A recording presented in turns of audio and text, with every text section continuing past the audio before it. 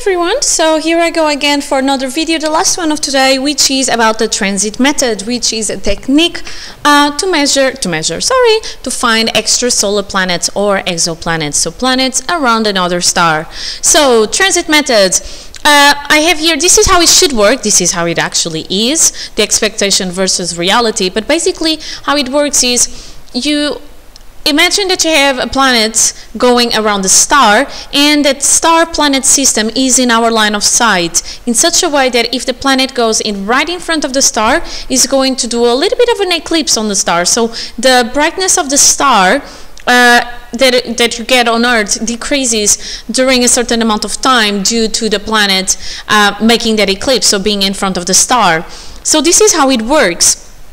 So I have here several planets, for example, around this star, and each color corresponds to a certain dip in the brightness. So that's the relative brightness of what I get from Earth, and this is uh, over a certain amount of time.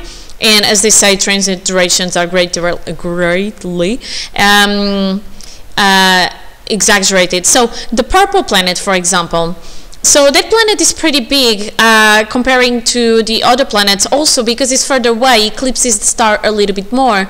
So this one is going to cover the star more, so the brightness increases the decreases, sorry, the most, okay? And I see this happening exactly the same type of decrease in brightness over and over again. So this is something that is happening over and over again. Possibly there is a planet around the star. So this is how the transit method works. Let's go on the blue planet. That one, also a little bit bigger, but also further away from the star, so it makes more of an eclipse. And there is here the dip in the brightness, which is always the same for the same planet. And then again, it happens over and over again. And if it happens over and over, I think, okay, come on, I definitely have a body around that star, possibly a planet, so is, is it going to be an extrasolar planet? And you keep doing observations to confirm that there is an extrasolar planet. You can use other techniques like radial velocity, for example, to confirm that is an extrasolar planet. Finally, let's go on the orange one, this tiny one closer to the star. It makes a tinier bit, okay, because it doesn't cover as much as the star. And now, let's look at all the lines together. The orange one is the closest one to the star. The repetition of the dip that I have in the brightness occurs more frequently because the planet is, of course, going to obscure the star more often than, for example, the purple one. So this transit method is going to give me, just by looking at the light curves, information about how many planets I may have in there, okay? And i need to be careful. You need to say may. I mean uh, of course it can give you information about how many planets it has there but we say may because you know it could be that there is a planet that is actually just the orbit is so oblique oblique that you cannot even have it to cover the star or it can be this uh, the covering of the star can be confused with noise which i'll go in a second. And then this one the purple one i mean possibly is quite big or it could be that it covers the star like much more. And look the period of this orbit is not as large as the other ones. So you get a lot of information about the system. And it works really well with multi-planet systems because uh, you're going to have different dips. Again this is an example of the Kepler 11 system which was found using, guess what, the Kepler Space Telescope which was sent to space just for look for planets, okay, using the transit methods. So this is the data and different colors again correspond to different planets and you can see that according to the how much my brightness decrease I can figure out that it, that is the signal, that is the pattern that my planet does, okay? Again, you also get information about the, the, size of the planet, the mass, the orbital period, in terms of how close together these dips happen. And let's look at this example. Sometimes three planets can be looking, uh, going around the star or in front of the star. So here, here we go. At times you may have um, some not so frequency, uh, frequent events where the brightness decreases much more. Now, problem about this method is that again, this is the expectation, really nice curved lines or uh, straight lines really, uh, and this is the reality. I mean, there is a lot of ups and downs, okay? And why, you know what, could this be a planet in here? Could this be a planet? Could that be a planet? So sometimes you don't know things for sure, okay? So the of course, as any technique, is not great, is not perfect. I mean, it's great actually, but it's not perfect. And sometimes, is it really a planet in there? Okay, so you can look at other techniques. All right? So I'll put the link of this video uh, in the description. This is really just seeing, I don't know if this is even from the video, I don't think so, but it's really just seeing a planet going in front of the star, reducing its brightness and moving away from the star.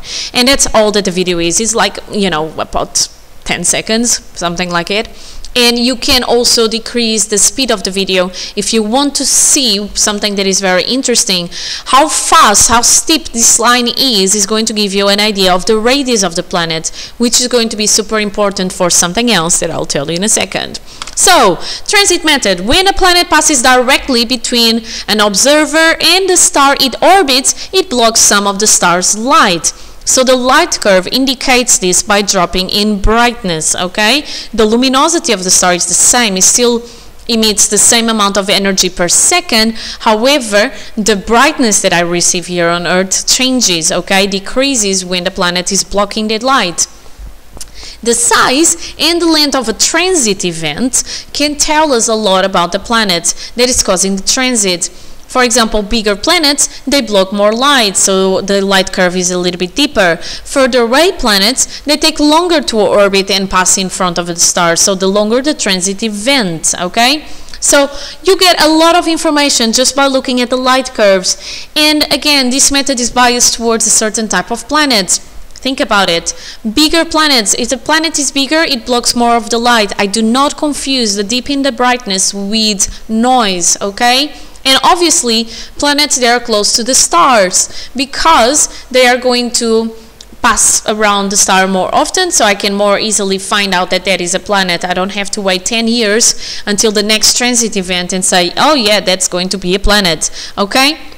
So the transit method, just like the radial or Doppler velocity method, they are biased towards hot Jupiters, which are planets. They are quite massive and they are traveling very close or orbiting very close to the star, okay?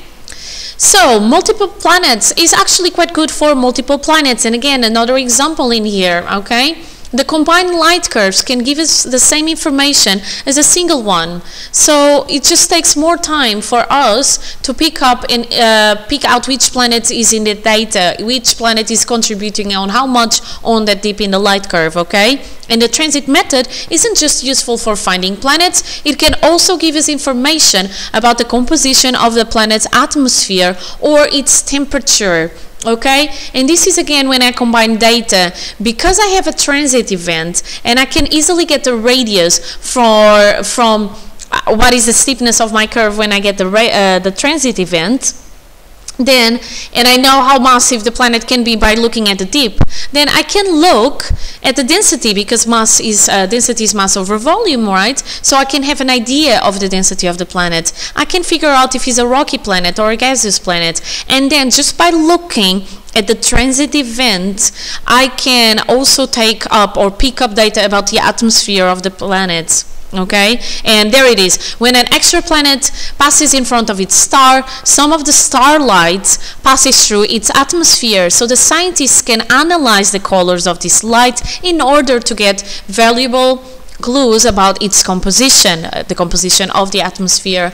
Using this method, they found everything from methane to water vapor on other planets. And why is this important? Well, if a planet has uh, methane and water vapor, in their atmospheres, uh, they have an atmosphere that is at least a little bit similar to ours. So maybe they can harbor life. Maybe they can have this amount of greenhouse if, uh, effect or, uh, yeah, uh, that is enough to keep the planet warm even if it's not facing the star at that particular time, okay? The greenhouse effect is something that is actually without it, we wouldn't have life on Earth. It's just that if it's an extreme greenhouse effect, then is going to cause global warming, okay? But this can be in another video.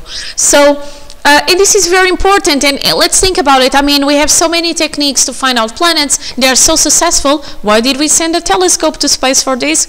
Well, if we're looking for planets that could be like our own Earth, because who knows, maybe we want to go there after we completely ruin this one, then we want a planet that could harbor life. So that is the interest, okay? It doesn't mean that the interest is completely about, you know, finding a second home when we destroy this one, which we're doing quite at a very high speed. But um, it's not just about that, but it could be also uh, a little bit more scientific and knowing how does life evolve in different planets, okay, or planets that have this atmosphere. Can it uh, involve in other atmospheres? What type of life I can get there? But um, yeah, kind of, you know, I'm, I'm not going to judge anything. So that is it uh, really for the transit methods, uh, which is uh, another way, a quite successful way to find extrasolar planets. So radial velocity was the big one in the beginning, and it's still fine. I mean, it's just that we don't have a telescope in space at the moment looking for these. And the transit is also very successful. Um, it does have its problems. It needs to be edge on planets is are biased towards hot Jupiter, so close, and big mass, massive planets. However, um, so I said it was very successful. It had its bias. I don't remember what I was going to say. But yeah, that's another method. Next, I'll go on microlensing, which is a very interesting one. So up to my next video. Be happy and healthy. Bye!